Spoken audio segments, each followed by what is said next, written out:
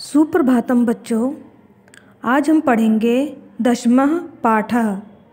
इसका नाम है संघेय शक्ति। ठीक है? संघेय शक्ति का अर्थ है समूह की शक्ति।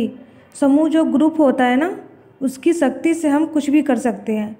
अगर हम एक लकड़ी को, अगर दस लकड़ियाँ रखी हैं, अगर एक आदमी उसको तोड़ता है तो वह नहीं तोड़ पाता। उसी दस लकड़ी को दो आदमी या तीन चार मिलकर तोड़ेंगे तो वह आसानी से टूट जाएँगी। तो वो क्या हो गया? हमारे जो समूह हो गया, जो इकट्ठा ग्रुप हो गया, उसकी शक्ति से वो लकड़ियाँ टूट गई। ठीक है बच्चों? तो संगे शक्ति का अर्थ है समूह की शक्ति। ठीक है? तो आइए शुरू करते हैं। प्राचीन काले नदा तटे एक विशाल वटवृक्ष आसीत। पुराने समय में नदा, नदी के तट पर एक विशाल वटवृक्ष वटवृक्ष अर्थ है बरगद का पेड़ था।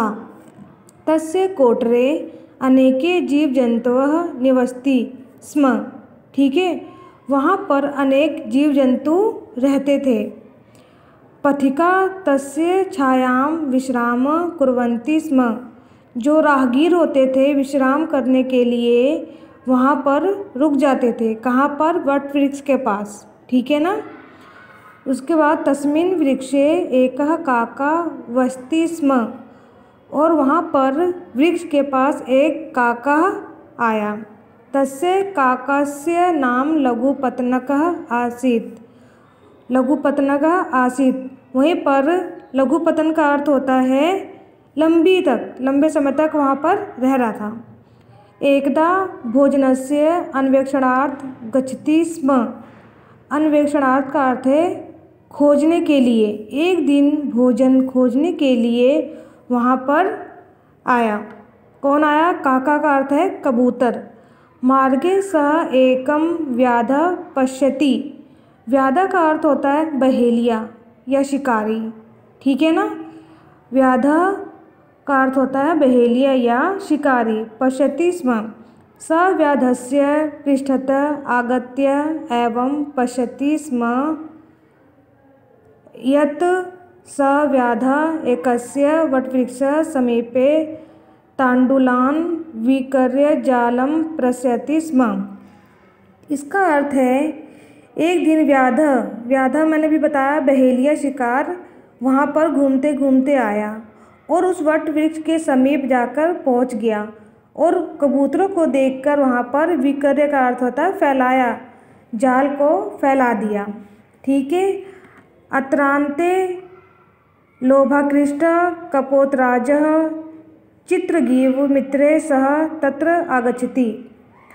अतांतरे का अर्थ है, इसी बीच लोभाकृष्ट कपोतराज, चित्रगीव, मित्रे सह, इसी बीच जो कपोतराज था, कपोत मतलब कबूतर जो वहाँ पर था, वहाँ पर सब इकट्ठे हो गए। अपी च तांडुलान पश्यति किस लिए इकट्ठे हो गए? चावलों को देखकर। किसने बिछाया था? शिकारी ने। ठीक है? लोभा कृष्णान तान् दृष्ट्वा काका व्याधेन कृतकार्यं त कथयति स्म। परं जिह्वालोलुपत्या काकस्य निवारिते अपि सर्वे। कपोता तांडुलान खादितुम अध तिष्ठति स्म। इसका अर्थ है, लालच के कारण जो सारे कबूतर थे, वहाँ पर चावलों को देखकर इकट्ठा हो गए और जीह वालो लोपत्या का अर्थ है जीव के लालच के वश में। अपने जो जो चावलों को देखकर जो उनमें लालसा उत्पन्न हुई कि इसको खाकर हम अपना संतुष्टि पूरी करेंगे, पेट भरेंगे तो वहाँ पे वहाँ पे इकट्ठे सारे खाने के लिए हो गए। ठीक है बच्चों? इतथ्यम सर्वे कपोता जाल बधा भवंती स्म। और उसी बीच कपोता को देखकर शिकाय ने वहाँ पे क्या किया? जाल को बिछाया। लुब्धकः, लुब्धका का अर्थ है लालची। व्याध तान, जाल, बधान, कपोतान, दृष्टवा, मार्यतु, धावती। स्म तदा चित्रगीव कथयति मित्राणी। तान, इसका अर्थ है लालच। जो लालची था, कौन? बहेलिया। तान, कपोतान, दृष्टवा मारतु मारने के लिए वह दौड़ा।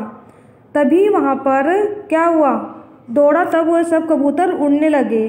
तो जो बहेलिया था, वो बोलने लगा, आप डरिए मत, ठीक है ना? ना भेतवेम ना भेतवेम ना भेतवेम ना भेतवेम का अर्थ है भेतवेम का अर्थ है डरो मत।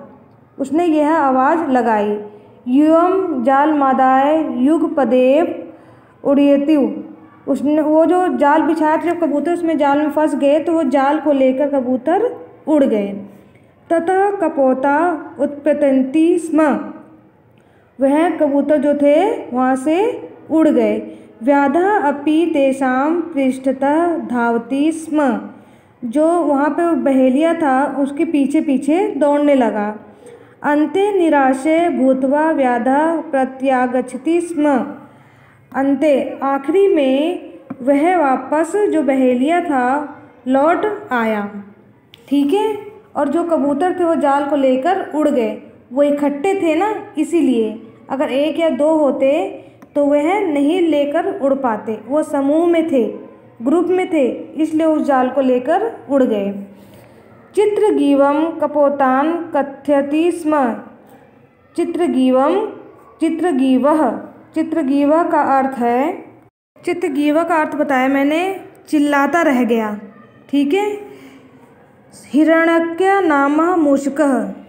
हिरण्यक्य नाम का एक चूहा था। मम मित्र अस्ति, वह उनका मित्र बन गया। सह एवं जालम कर्त्यशति उसने उस जाल को काटा। तदा सर्वे हिरण्यक्य निक्षा गच्छन्ति स्म। तभी उस वहाँ पर जब जाल को काटा तो सभी वहाँ पे जो कबूतर थे, वह वहाँ से निकल गए। हिरण्यक्य त तम जालम कर्तित्वा तान कपोताम मोचयति। तब जो हिरण्यक्य थे, वहाँ पे जाल को काट के उन्होंने कबूतर को बाहर निकाला।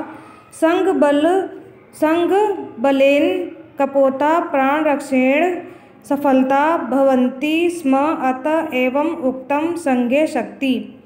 तभी समूह की शक्ति से वे सारे उस जाल को काट पाए।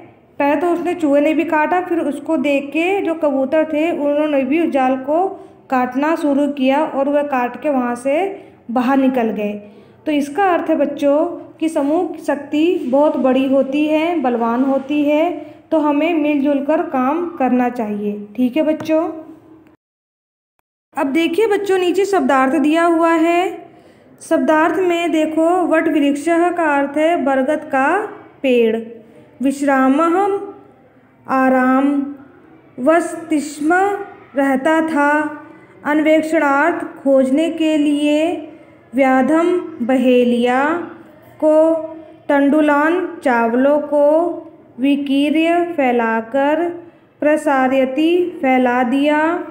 अत्रांतरे इसी बीच निवारित अपि रोके जाने पर भी जीवा लोलुपत्या जीव के लालचवश लुब्धकः लालची मारेतु मारने के लिए। न भेत्वम डरो मत, जाल मदाय, जाल लेकर। उत्पतंती स्म, उड़ गए। कर्य कर्यश्यति काटेगा, निक्षा समीप। मोचयति स्म, छुड़ा दिया। संघ बलेन समूह की शक्ति से प्रत्यागछति लौट आया। ठीक है बच्चों, ये जो शब्दार्थ है आपको अपनी कॉपी में करने हैं और डेट डालकर। ठीक है? सुप्रभातम बच्चों।